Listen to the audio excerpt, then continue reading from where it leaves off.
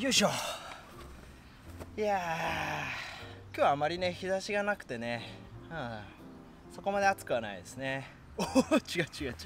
ジャンボ！ビートナイトです。このタイムご視聴ありがとうございます、まあ、本日はですねちょっとキャンプというよりも最近僕が買ったキャンプ用品6点をね紹介していきたいと思います。はいではね早速紹介していきます。はい、えー、まず最初はねこちらですね。観葉のベッドでございます。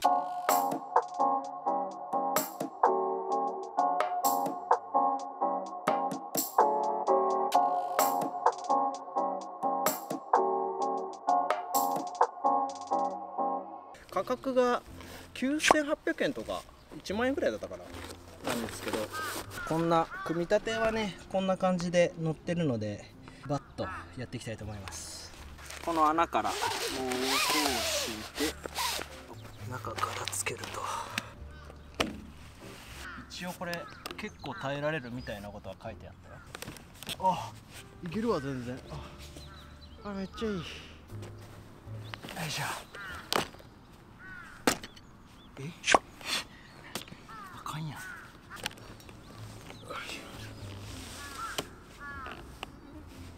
大丈夫かな？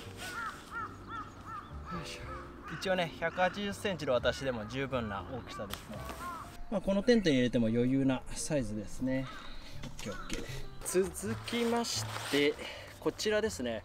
これはねあのちょうどね買おうと思ってたんですけどたまたまご提供いただけましてこれエアベッドかな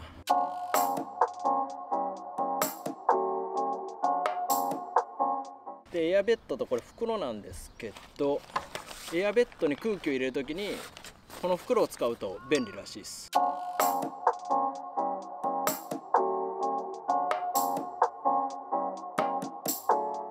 ちょっと実験で今からやってみたいと思います。このさっきの袋を使って多分ここだよね。この口に入れると。こうね。あ入る入る入るでこっちが枕ですね。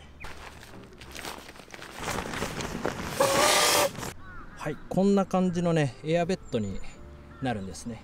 このね別売りの袋普段はねなんかこう物を入れたりこのぐらいの口の袋があるんですけどまあこれを利用してこっちを使って空気をまあ、ポンプの代わりになるってやつですね、まあ、ポンプをね持ってく必要がないみたいな感じでだいたいこっちだと4回ぐらいでいっぱいになる。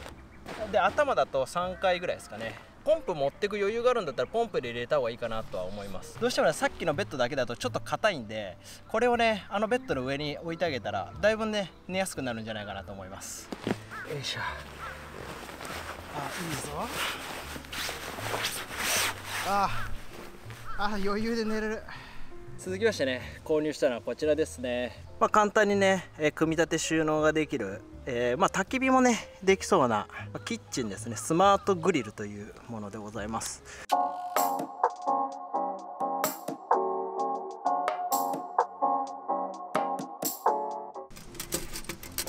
こうしてここに刺しここに刺しかな？ですね。はい。ここにこう炭とか木とかを置くんですね。でこれかこの上にこう網も置くことができると。はあ、はあはあ、めっちゃ簡単っすね。組み立てがすげえ簡単だな。はあはいはいはいはい。ここにこうしまうわけだ。わあめっちゃ簡単。袋もついてるんで袋に入れて持っていけると。はあ。これいいっすねこれ後でねちょっと焚き火っぽいこともしてみたいと思います。続きましてこちらがねえっ、ー、とメイドインスウェーデンのねえっ、ー、とモーラのナイフでございます。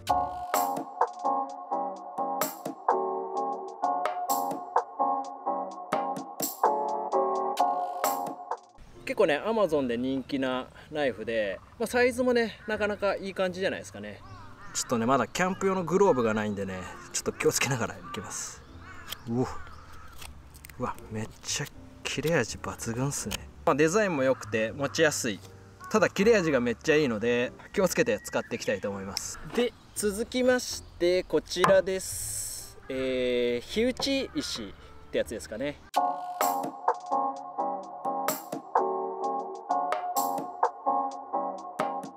マグネシウム。でこうまああの使うかどうか分かんないですけどなんかこれで火を起こした方がかっこいいかなって思って買っちゃいました。ほんとすいません不純な動機で。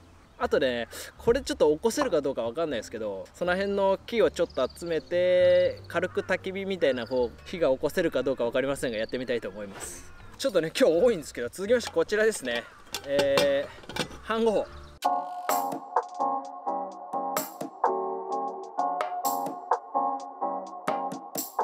僕はね丸型にしました、まあ、いわゆる一般的な飯号があったんですけど、まあ、なんとなく丸の方が使いやすいかなといろいろ思ったので僕は丸を買いました。で僕最初にねあの6点って言ったんですけどすいません。もう1点ありました。これですね。太陽電池式の LED ライトです。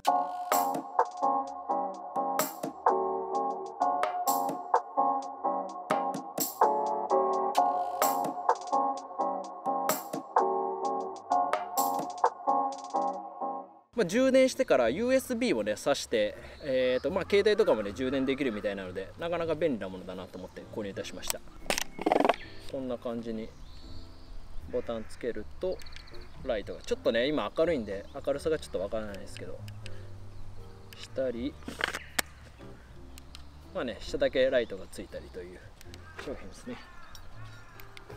ちょっとまあネットで調べただけなんですけど、まあ、ちょっとうまくできるか分かりませんがさっきお見せしたね火打ち石を使って火を起こしてみたいと思います。まあうまくいったらやりますけどうまくいかなかったら今日はやめます。まあこんな感じの木を集めてまずねこういった一番火のねつきやすそうなやつに着火させ、まあ、木の皮っすねみたいなところでこいつを乗せ火をつけこの上に乗せてみたいな感じだったと思います。すいませんちょっと素人ですがうまくいったらいいなぐらいの感覚でやってみます。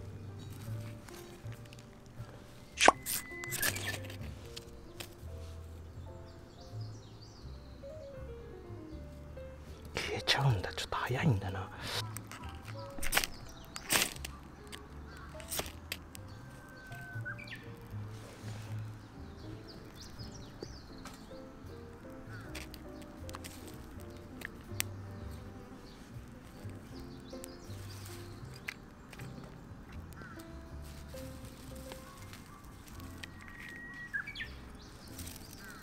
え難しいな火起こすの。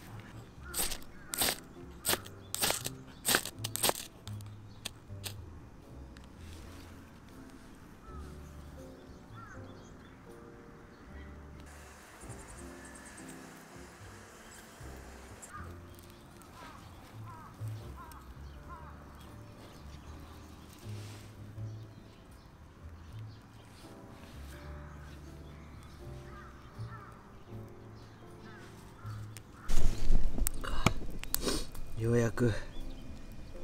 ちょっとなんかつきそうっすね。めっちゃ時間かかりましたけどね。ちょっとコーヒーでも入れるよ。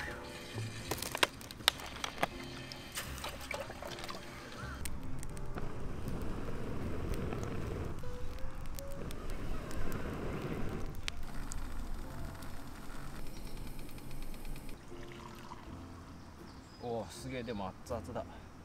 はい。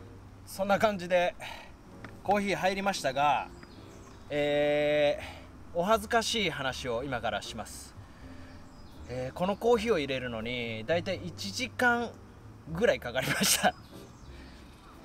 全然ね火起こしがねうまくできませんでしたね。いやーこんなに時間かかると思いませんでした。いや本当にね僕のこの素人加減っていうのがね露呈しましたよね。1時間かけてね入れたコーヒーをねちょっと飲んでみます。いやまあコーヒーはやっぱうまいっすね。いやめっちゃ時間かかった、まあ、これからねちょっと練習して多分ねは、まあ、原因としては火ついてちょっとうわーってなったのにすぐ息をかけたりとか空気を入れたりしちゃダメなんですよね。あの置いてしばらく水分を飛ばして煙をわーって出してからあの、息をかけて火をわっとつけないといけないんでしょうけどちょっとね焦りん坊の性格上やってしまいましたね。すっかりもう日も暮れて多分僕顔映ってるかどうか分かんないですけど。コーヒーはうまい。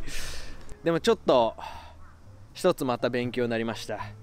えー、本日の動画ですね私が最近購入した商品の紹介でございました。もしねこの動画面白かったらグッドボタンよろしくお願いいたします。あそしてですねはい SNS、Twitter、Instagram やってますんでね気軽にフォローしてください。あとねコメントもね気軽に残してください。チャンネル登録もねぜひよろしくお願いいたします。はいそれではまた次の動画でお会いいたしましょう。ビートナイトでした。バイ。え難しいな火起こすの。